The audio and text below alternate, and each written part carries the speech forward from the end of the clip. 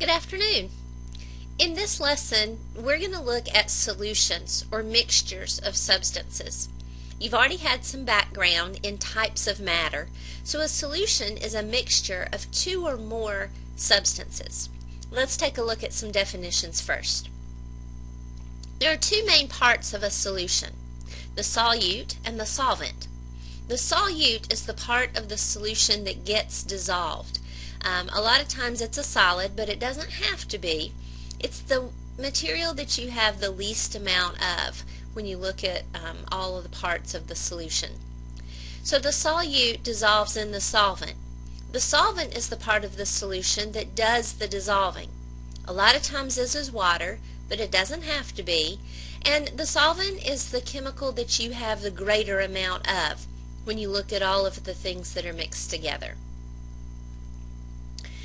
Now you know that solubility is not the same for all substances. And I want you to think about solutions in a wider range now. A solution is not just dissolving a solid in a liquid or a solid in water.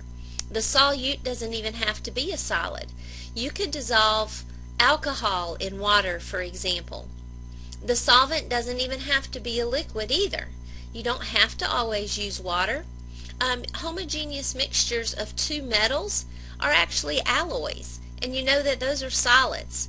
So there are many different types of solutions and homogeneous mixtures. Here's how dissolving works. A solvent is going to dissolve a solute. Um, this animation is for salt in water. So take a look at this process.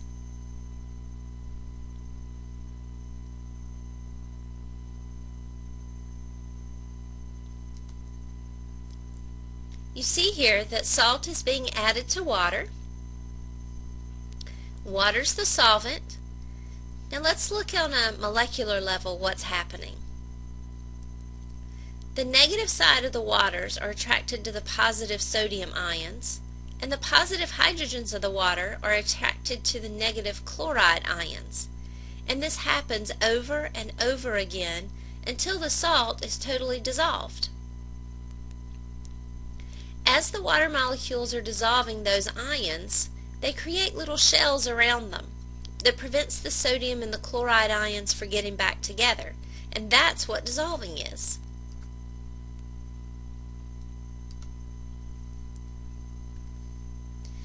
Alright, so why do some substances dissolve easily in one another, like sugar in water or salt in water, and others don't? like oil and vinegar. They make the two layers in the salad dressing bottle.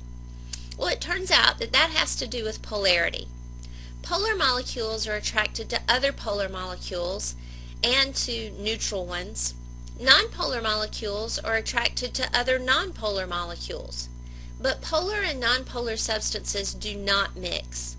So an important little piece of information to remember is that water is a polar molecule.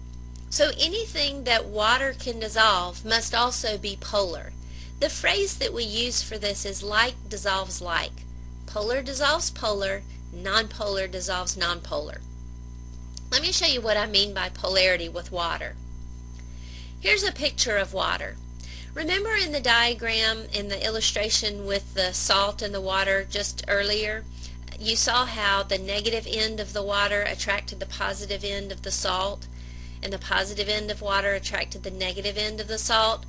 That's why. Water is polar because it has a negative end and a positive end. There's not an equal distribution of charge with a polar molecule. It has a shape so that it's asymmetrical. There's a negative end and a positive end. So all molecules that have this type of distribution of charge are also polar. And ones that are symmetrical surrounding the central atom, if they don't have an unequal distribution of charge, those are nonpolar molecules. So we'll work some more on this in the future, but this will get you started. It's just a good introduction to solutions.